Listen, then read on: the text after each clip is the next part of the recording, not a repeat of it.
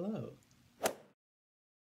Um, my name is Adrian, and I am a student at Chamberlain. I'm not, I guess I am a nursing student, but I'm still taking general courses. So I don't know whether I should call myself a nursing student or just a student.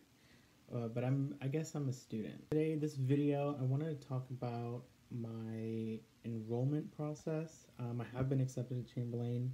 I want to talk about my enrollment process, especially now, um, being that, you know, we are in a pandemic and it's still affecting a lot of people. So I really wanted to talk about um, my experience enrolling. Um, so I applied to Chamberlain in May, um, which is so like the year has flown by so quickly. I can't believe it. Um, but I applied in May for the fall 2020 session. One of the things that was kind of recommended to me by the advisors when I got into contact with them was that if you want to get into Chamberlain, you should do your best to apply as soon as possible.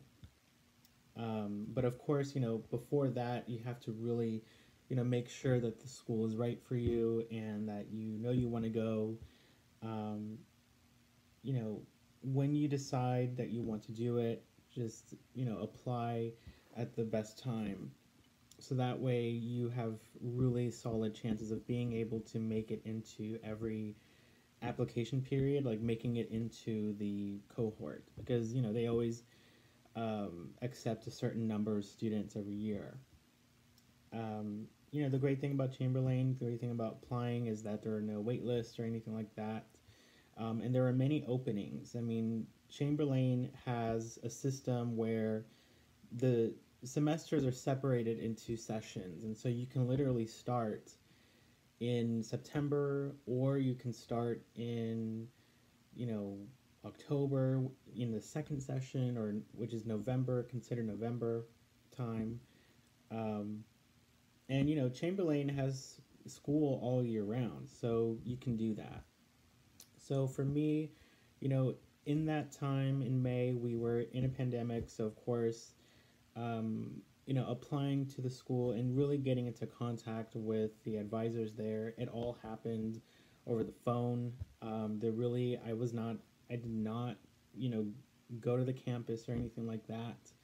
Um, I literally just had a lot of like one-on-one phone calls and meetings with the advisors and they gave me lots of information. They answered all of my questions.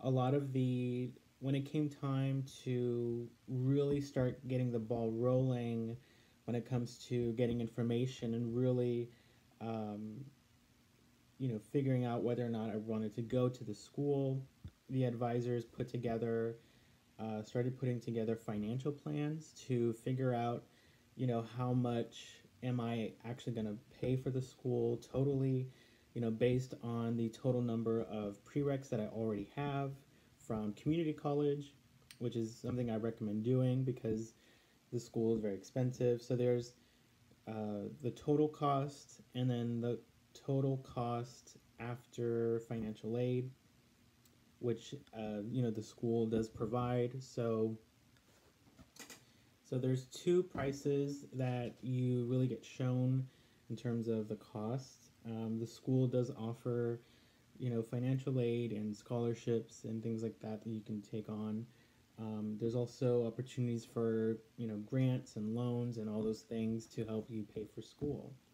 So I started to learn all these things. Once I started really getting into um, you know, applying and I decided to, you know, go ahead and process my application, pay the application fee, which is like $95, which is kind of pricey. Um, I started working on my passion statement. Uh, my passion statement, uh, I already had one, you know, basically written for my other nursing school that I didn't get into. Um, so I had to take that statement and change it up according to what they wanted. Um, when you start applying to Chamberlain, you know, you're you know, your advisor will tell you, will basically guide you through making sure your paper is good before you submit it. So that was really nice. And then there was a lot of pre enrollment documents um, that had to be signed. And normally, like, you would do these things in person, but obviously we can't. So a lot of it was through DocuSign. So they would send you emails, uh, you know, with electronic documents that you would sign and you would send it back to them. Um, so that's how that worked. And then I started filling out FAFSA and what else did I do? After I submitted my application, the advisor told me that the admissions committee uh, meets every Friday. And this is at my campus. I'm not sure if this is all campuses, but they meet every Friday and they kind of go down the list of applicants um, in no particular order. They go through and they select, you know, which ones get in or not. So I processed my application. I don't remember what day it was, but um, I think like a week later, that's when I ended up getting the phone call that um, I got in. And so I was really excited, really happy. Um, was really happy to, you know, just you know be in and, and move forward with my education so i got in and i got my welcome letter and things like that um, and then we had orientation not orientation but we had um, basically like class you know beginners seminars like for the school um, we had like zoom meetings and they were talking about just the school and welcoming us all it was all through like Zoom or WebEx. So a little while after getting accepted, um, then we had like two like new student seminars. Um, obviously, these are seminars that I guess would normally happen in person, but they happened online through like WebEx. And in these seminars, they would give us information about the school, we had different you know staff members and, and members of the the faculty leadership kind of introduce themselves and who they are and uh, what they do for the school.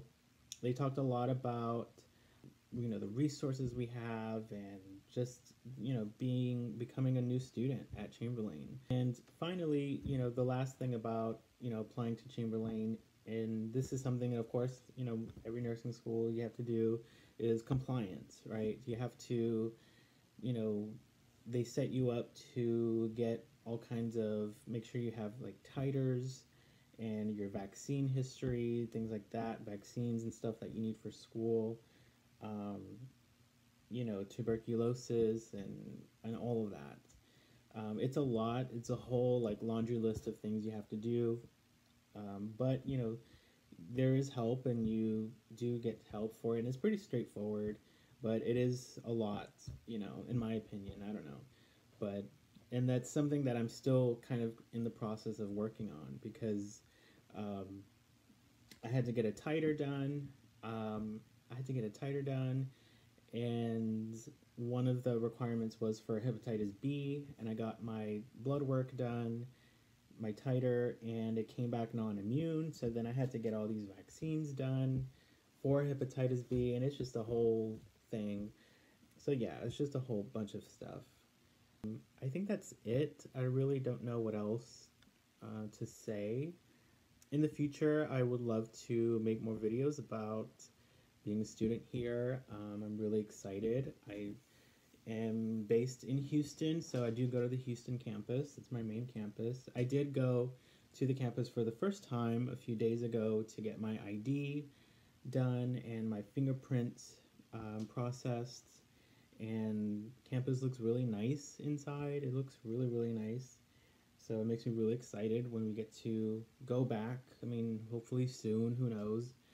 Um, people here don't want to follow the rules and yeah so which sucks but um, right now i'm currently taking some general courses. I actually take my first nursing class next year and so yeah so hopefully we'll see what happens next year whether or not we'll be on campus or not. The campus here was supposed to open, um, but of course we're you know of course with all the regulations, you know, wearing masks and social distancing and things like that. Um, you know, they're really doing what they can to make it safe. Um, they were supposed to open this month, um, but it got canceled, I think. So I think the rest of the year we're not going to go on campus at all.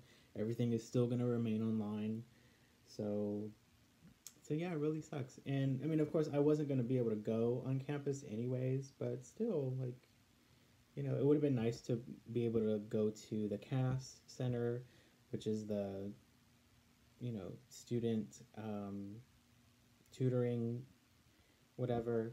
But yeah, in the future, I will be making more videos, more content um, about my journey. So definitely, if you want to follow me, definitely do that. You can follow me on Instagram. You can follow me um, here on YouTube. Subscribe, like this video if you liked it. Um, other than that, thank you so much for watching.